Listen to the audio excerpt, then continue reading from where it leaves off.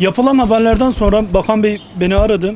Refleksle yaptığım hareketin yanlış olduğunu ama toplum açısından iyi bir mesaj verdiğini dile getirdi. Yanımdaki kişinin annem olduğunu ve e, tedavisi için e, hastaneye gittiğimizi dile getirdim.